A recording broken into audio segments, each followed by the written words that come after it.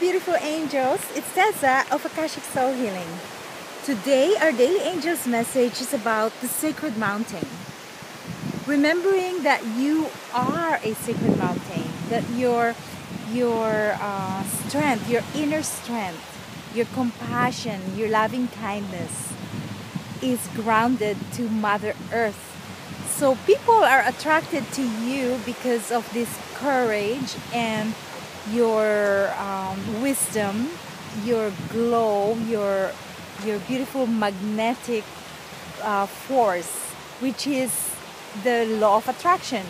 So, because of your inner gifts, which is loving kindness, you radiate this light to others. So, be aware of your sacred mountain, which is your body grounded to Mother Earth, full of wisdom, courage, and inner strength. So you truly know within you that the people that comes to you are actually attracted to your soul level.